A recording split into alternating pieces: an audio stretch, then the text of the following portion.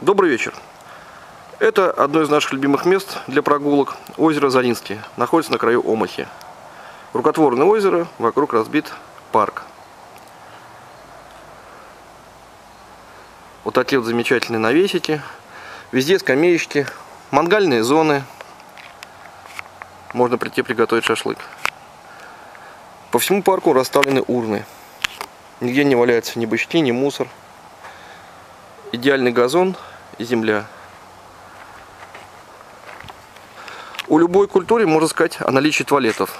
В данном случае по всему парку расставлены вот такие вот бесплатные туалеты, где есть и туалетная бумага, и мыло, и зеркала, и ничего не разбито, не загажено.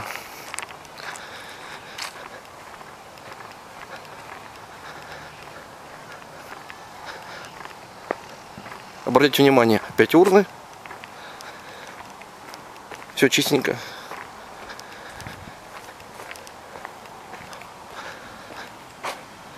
Состояние общественных туалетов говорит о многом. В данном случае о культуре.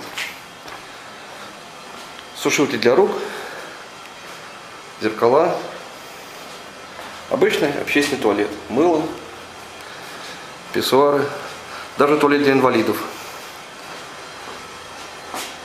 Туалетная бумага, чистенько. Никаких надписей, никаких граффити, ничего. Даже здесь. Вы где-нибудь в России видели туалет для инвалидов в общественном парке? Да еще в таком состоянии. Наверное, нет.